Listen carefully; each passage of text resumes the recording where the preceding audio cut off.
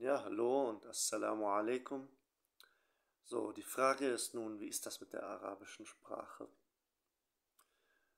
Nun, es ist wahrscheinlich deutlich schwieriger und eine weit komplexere Angelegenheit als bei anderen Weltsprachen. Arabisch ist ja in den Top 10 der meistgesprochenen Sprachen der Welt. Aber das Problem ist, dass die Schriftsprache oder Hochsprache in den Ländern im Nah auf der arabischen Halbinsel, ja im Nahen Osten, aber halt nur auf der arabischen Halbinsel und in Nordafrika, die ja in, im Grunde eine ausgestorbene Sprache ist. Also man muss es wie eine alte Gelehrtensprache lernen, vielleicht vergleichbar dem Latein in Europa.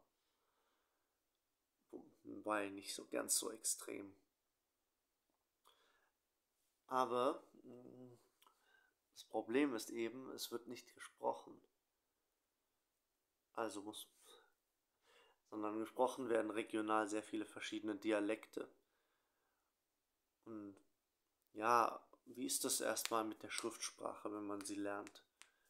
Also Arabisch ist extremst regelmäßig, bis ans äußerste fast peinlich.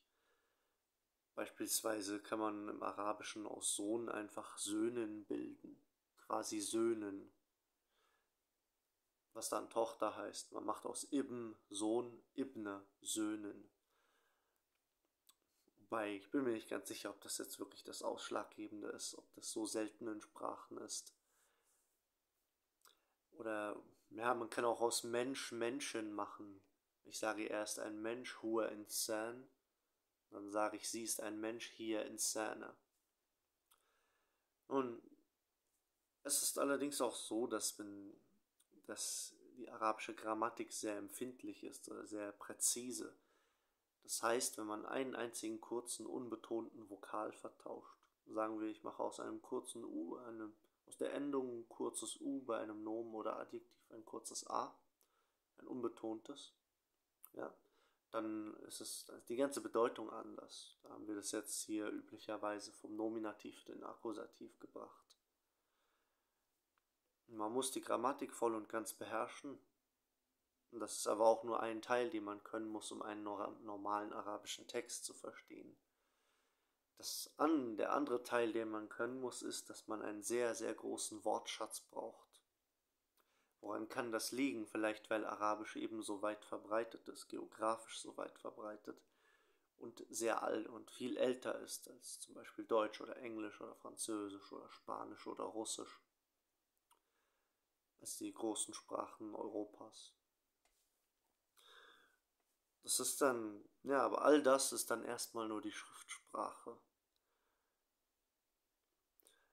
Wenn man jetzt mit Arabern spricht, und so habe ich das leider immer erfahren, ist das so, das wird sehr komisch und verkrampft, wenn man die Schriftsprache spricht. Und die lachen einen auch aus. Oder im besten, ja, weil es eben so ist, dass, dass sie regional sehr verschiedene Dialekte sprechen, die sich total von der Schriftsprache unterscheiden. Beispielsweise, wenn ich jetzt auf Hocharabisch einen Mann frage, was willst du oder was möchtest du, das geht beides, das ist nicht unhöflich, wenn man das auf Arabisch folgendermaßen fragt. Mazaturid. Im syrischen Dialekt sage ich, sage ich Shubiddak. Nun, wobei die Sache ist halt die, das wäre ja eigentlich gar nicht das Problem eigentlich müsste das ja kein Problem sein. Man müsste davon ausgehen, ja, gut, die Kids in arabischen Ländern lernen doch Arabisch in der Schule, die müssen das doch können. Aber dem ist nicht so. Die Bildung ist ziemlich schlecht und die und viel und ein, es kann locker passieren, dass jemand von der Schule abgeht und nicht weiß, wann er Abuka, Abika, Abaka sagt, also nicht weiß, wie er den Ausdruck dein Vater deklinieren soll für Nominativ, Genitiv und Akkusativ, die Kasi, die es im Arabischen gibt. Das Problem in der Erziehung von Arabern ist auch, dass sie äußerst narzisstisch sind und ihre Eigendrehung viel zu überbewerten, also das total in ihrer eigenen Welt leben und denken, dass nur sie Probleme hätten. Das führt dann dazu folgender Situation, das habe ich immer wieder erlebt. Also im besten Fall sagen sie, oh, der spricht aber gutes Arabisch so. Ja, er spricht Hocharabisch, das ist aber toll. Und er denke ich, ja, ja, leck mich doch am Arsch. So denke ich da mittlerweile. Aber es kann auch sein, dass sie mich auslachen oder dass sie mich nachäffen oder dass sie sogar aggressiv werden, weil sie denken, dass ich sie verspotte, weil ich Hocharabisch spreche. Und ähm, ja, die Sache ist die, wenn die mich dann so verspotten, was auch durchaus ein Arabischlehrer machen kann, der aus einem arabischen Land kommt. Versuchen mich dann so darzustellen, als wäre ich äh, entweder ein Spinner, der die Dinge viel zu genau nimmt, was natürlich Quatsch ist. Ich meine, wenn ich jetzt Russisch lernen würde und das Ziel hätte, die Sprache am Ende richtig zu beherrschen, natürlich würde ich dann jedes Mal nachfragen, warum hat sich das Wort jetzt in diesem Satz so verändert? Warum ist es in diesem Gedicht so geformt? Warum, warum? Ist ja logisch. Aber die tun dann so, als wäre ich ein Spinner, der die Dinge zu genau nimmt, nur weil sie selber keine Ahnung haben. Oder, oder, sie, oder sie unterstellen mir, ich wäre arrogant oder wollte mich abheben von den anderen und würde deswegen Hocharabisch sprechen.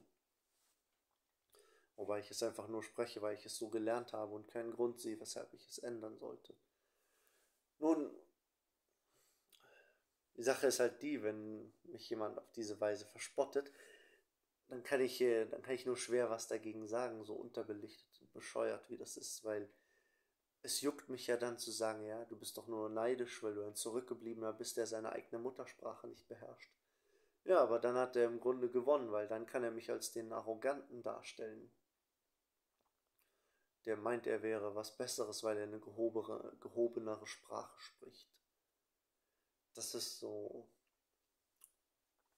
Oder das andere, das da noch mitschwingt, ist vielleicht bei Arabern diese, dass sie, dass sie sich zu, eben zu sehr in ihrer eigenen Welt bewegen, so, dass sie, äh, dass sie, wie soll ich sagen, dass sie es, dass sie es ähm,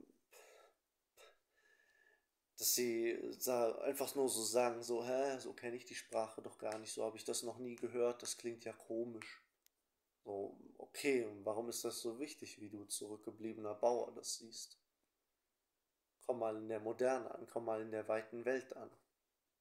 Nicht für, wie bereits erwähnt, Arabisch ist eine Weltsprache. Es ist auf dem fünften Platz der größten Muttersprachen der Welt.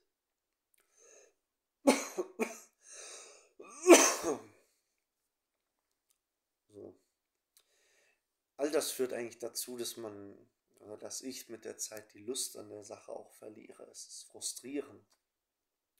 Weil, ja, ihr seht ja, wenn die dann so tun, als wäre es nicht berechtigt, Arabisch zu lernen. Und überhaupt ist ja das ganze arabische Volk heutzutage geprägt dadurch, äh, dass sie sich schämen, Araber zu sein, dass sie Angst haben, schlecht dazustehen, dass sie Angst haben, als Terroristen, als Barbaren, als Zurückgebliebene dazustehen. Oder als Frauen verachtend oder weiß nicht was für ein Mist. So, ein gutes Beispiel. Ich habe zwei Marokkanerinnen getroffen, mit denen haben mein Freund und ich ab und zu mal abgehangen. Ein Tunesier. Und äh, immer ja, häufig kamen sie so mit der Masche so, ja, das gefällt uns nicht, dass du dich so arabisch benimmst. Wir würden es lieber haben, wenn du dich deutsch benimmst oder europäisch. Oder sie kommen so mit der Masche, dass sie sagen, wir sind keine Araber, wir sind Marokkaner, wir sind Berber. Wobei die beiden Mädels keine Berber waren, die haben kein Berberisch als Muttersprache gesprochen, kein Berber, keine berberische Sprache, es gibt ja viele. Aber das ist eben so typisch, diese typische Masche, ja. Das ist nochmal ein ganz anderes Thema. Das hängt dann auch mit Blackpill-Theorien zusammen, mit der Manosphäre und Incel-Foren dass orientalische Frauen heutzutage westliche Männer wollen. Und wenn sich jetzt die Gesellschaften im Nahen Osten und Nordafrika lockern, die konservativen Gesellschaftsstrukturen lockern, dann soll das der, demnach der Untergang für die Männer, für die Männer dort sein, für den absoluten Großteil, weil die orientalischen Frauen offenbar alle westliche Männer wollen. Das ist nur mal so am Rande bemerkt. Ja, die Frage ist natürlich jetzt auch, wie geht das weiter so mit der arabischen Sprache? Hm. dann, ähm, ja, ich, ich weiß es gerade auch nicht. Aber vielleicht konnte ich euch mal ein paar tiefere Einblicke geben und damit diejenigen von euch, die mit der Idee spielen, Arabisch zu lernen, wissen, worauf sie vorbereitet sein müssen. Das ist jetzt so, wenn ihr als Westler Arabisch lernt, werdet ihr von Arabern vielleicht nicht so behandelt wie ich, weil die behandeln mich dann teilweise auf dieselbe dreckige Art, wie sie sich untereinander behandeln, weil ich ja arabische Wurzeln habe. Wobei in anderen Situationen wiederum, wenn es ihnen passt, wenn es ihnen gelegen ist, dann bin ich für sie wieder der Deutsche oder der Westler oder der Europäer. Das ist bei einer Steffi oder Martina, die jetzt Orientalistik studiert, vielleicht nicht der Fall. Aber sie muss darauf vorbereitet sein, dass es langwierig und schwierig ist, Arabisch zu lernen wegen der genannten Probleme, dass es eine viel zu komplexe Angelegenheit ist. Dass einmal schon die Schriftsprache komplex ist in der Hinsicht, dass man sehr viele Begriffe kennen muss. Andererseits, dass man sie dann gar nicht sprechen kann, sondern verschiedene Dialekte lernen muss, die sich sehr stark von der Schriftsprache unterscheiden, sodass man sie eigentlich als eigene Sprachen zählen müsste.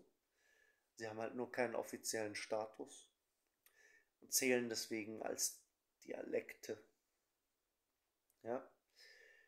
Ähm, ja, wie auch immer. Ich fokussiere mich halt immer sehr auf Grammatik, damit das klar ist. Da folge ich auch dem Stil von dem, von dem Arabisch-Lehrbuch von Wolf Dietrich Fischer und Otto Jastrow, das wirklich ein Segen für einen Arabisch-Lernenden ist. Das einen etwas roten Faden in die Wirren dieser Angelegenheit reinbringt oder reinzubringen versucht.